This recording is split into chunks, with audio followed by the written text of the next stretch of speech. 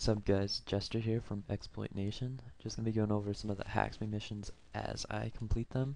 Uh, the one we got today is going to be Sector 1, Mission 1, Plain Source Password. Hacker, your objective is simple. I was messing around with a file template and I left sensitive information to an email address with a password laying around for all clients to view. Can you retrieve this for me please? What this tells me is that the password is going to be somewhere where the clients can view, so it's probably going to be located in the source somewhere.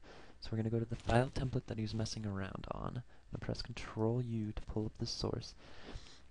Now the first thing we should be trying to do is see if the password is somewhere in here. Since he said it's with an email, we should probably be searching for the at symbol, because all email addresses need that.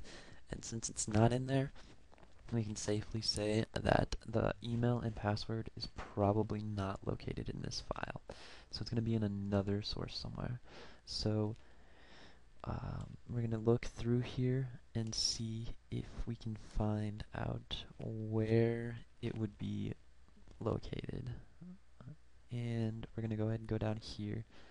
And this is the frame that holds the e email, password, and submit form buttons. So it's probably going to be located inside there.